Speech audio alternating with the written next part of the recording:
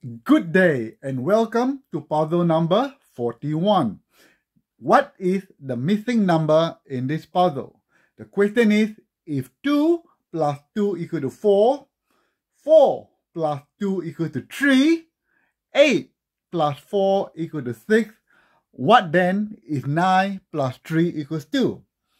If you want to have a go at this puzzle, press the pause button now. But if you want to know the solution, Keep watching. Welcome back to the solution of puzzle number 41. What is the missing number in this puzzle?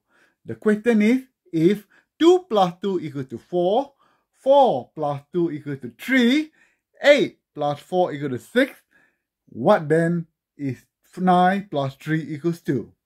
If you manage to solve this puzzle, well done because this is not a very, very easy puzzle. And I'll, if those of you who have not solved it, this is the solution.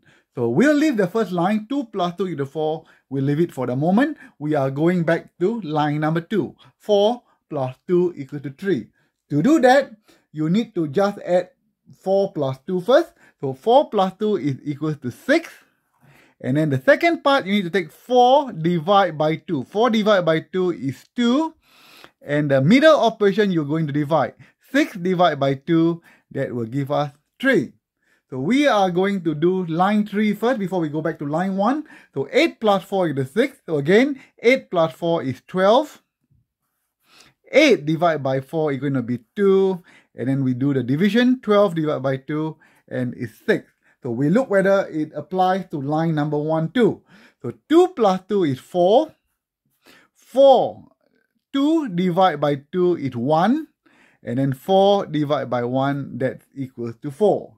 So now we have to come to the solution of 9 plus 3 equals to the question mark. So 9 plus 3 is 12.